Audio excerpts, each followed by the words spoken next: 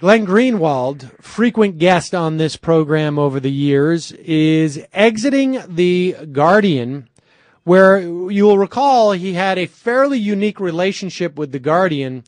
Uh, it housed his, um, essentially his online column, his blog, I guess. I'm not even sure I would call it that, but um, his online column there. Uh, and he was he, partially funded by The Guardian, partially funded by himself. Uh, in the case of receiving the uh, Edward Snowden leaks, he did not provide them all to The Guardian. Uh, my understanding is that only he and uh, Laura Poitras, the only two individuals who had all of the documents. It has been announced that he is leaving the Guardian newspaper to join and it appears to set up a new media venture funded by the eBay founder Pierre Omidyar. Omidyar.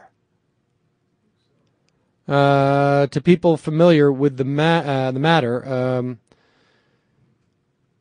Omidyar's net worth is at eight point five billion dollars. So I imagine uh, they will not uh, be subject to the same technical difficulties that we have here occasionally on the Majority Report.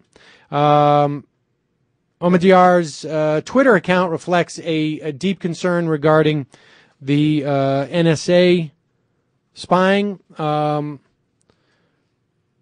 Omidyar is involved in a lot of philanthropic and other and for-profit um, investments such as this. Uh, there are reports that Greenwald has, um, or that joining Greenwald will be Laura Poitras and Jeremy Scahill. It's unclear at this point. I've heard reports that the site may include things like sports and culture, that it may be sort of like a, some type of Huffington Post model.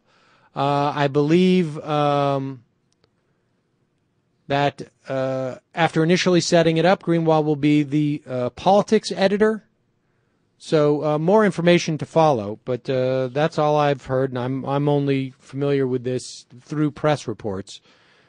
So uh, interesting development, and um, maybe someday uh, Glenn Greenwald will be considered a journalist by uh, those who had no problem with um, with the government, uh, you know, cracking down on his efforts.